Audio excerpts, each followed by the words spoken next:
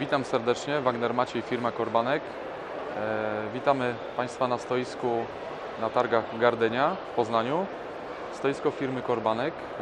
E, znajdujemy się przy ładowarce włoskiego producenta firmy MultiOne. Jest to ładowarka z serii 8, a dokładniej model 8.4S. E, jest to ładowarka, która cieszy się powodzeniem i dobrą opinią wśród klientów, którzy już taką ładowarkę nabyli.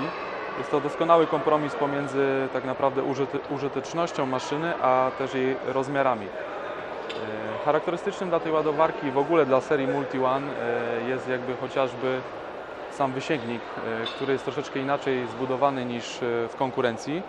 Jest to wysięgnik oparty na dwóch ramionach, wzmocniony poprzecznie. Potocznie mówi się o tym, że ma on kształt litery H.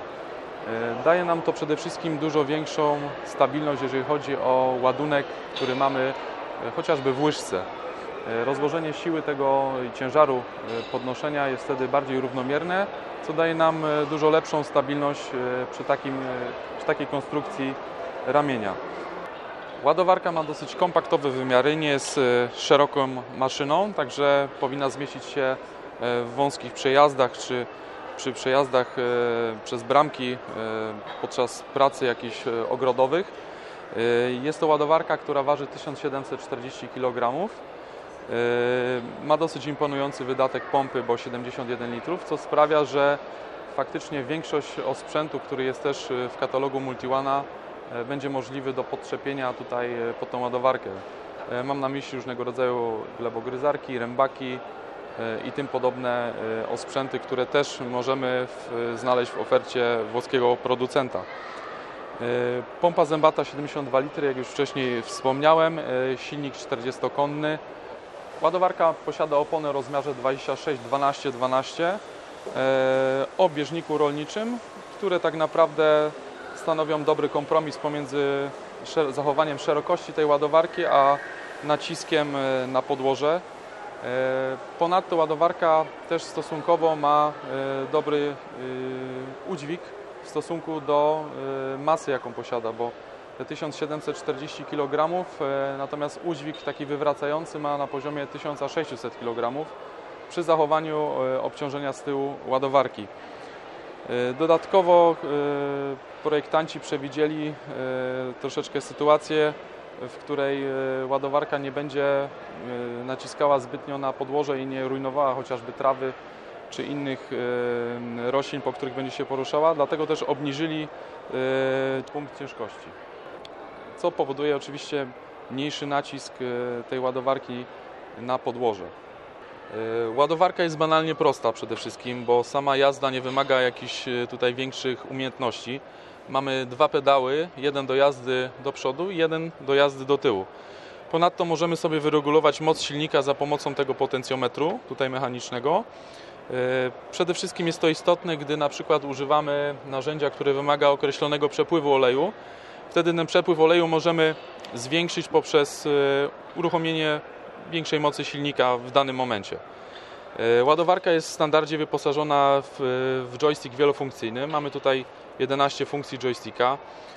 E, Mamy załączenie trzeciej sekcji, która pomoże nam w otwarciu chociażby e, łyżki 4 w jednym, czy krokodyla, czy jakiegoś innego sprzętu. Sterujemy również tutaj stałym przepływem oleju, bo jest to też w standardzie w tej ładowarce. Ładowarka oznaczona symbolem 8.4S y, posiada dwie prędkości jazdy. Mamy tutaj żółwia i zająca, które przełączamy tym oto przyciskiem i w tym momencie ładowarka porusza nam się z, z, prędkością do 12 km na godzinę. Jeżeli przerzucimy sobie na zająca, porusza się ona do 20 km na godzinę. Ponadto mamy tutaj blokadę DBS. Jest to poniekąd blokada mechanizmu różnicowego, która powoduje zablokowanie kół po jednej stronie w wypadku utraty trakcji i wtedy możemy tego użyć, gdy będziemy potrzebowali wydostać się z jakiegoś y, grząskiego terenu. Y, Tutaj mamy włączenie oświetlenia, y, mamy elektryczny postojowy hamulec oraz ewentualnie możemy elektrycznie odwrócić działanie chociażby zamiatarki poprzez przełączenie tego przycisku. W tej ładowarce mamy zamontowaną też opcję pływającego ramienia, którą włączamy tym oto przyciskiem. Pływające ramię daje nam e, możliwość e, bardziej precyzyjnej pracy z kosiarką, z zamiatarką, e, z takim narzędziem, które będzie wymagało kopiowania troszeczkę nierówności terenowych. Ładowarka oczywiście może być posprzedażowo wyposażona w zamkniętą kabinę, czyli taką kabinę możemy zamontować przez nasz e, dział serwisu już po sprzedaży ładowarki. Wtedy mamy szybę z przodu, z tyłu, z boku oraz drzwi. Ponadto na sz- szybie przedniej, jak i tylniej e, mamy wycieraczkę, która e, normalnie działa tutaj poprzez włączenie jej z, z, z kabiny. W ładowarkach, które mają silniki powyżej 50 koni, jesteśmy w stanie zamontować też układ klimatyzacji. 40-konny silnik Janmara jest sercem tej ładowarki. Jest on fajnie ułożony tutaj w komorze y, silnika z dostępem do wszystkich y, punktów eksploatacyjnych. Mamy filtr powietrza z wlotem z tej strony, miarkę oleju. Sama podłoga silnika jest zabudowana, także nie ma tutaj takiej możliwości, że jakieś nieczystości są, y, mogą zostać zaciągnięte gdzieś spod spodu ładowarki. Mamy też bardzo dużą powierzchnię chłodzącą tej ła- ładowarki. E, Dodatkowo mamy do dyspozycji również radiator, e, który się włącza w momencie, gdy nastąpi e, jakieś mocniejsze przegrzanie oleju w układzie. Wtedy ten radiator dodatkowo schłodzi nam olej hydrauliczny w całym układzie. Standardem w Multiłanie jest multizłącze, które tak naprawdę pozwala w łatwy sposób podłączyć hydraulikę do danej ładowarki. Przy każdym urządzeniu wymagającym podłączenia hydraulicznego mamy taką końcówkę i przy każdej ładowarce mamy taką końcówkę.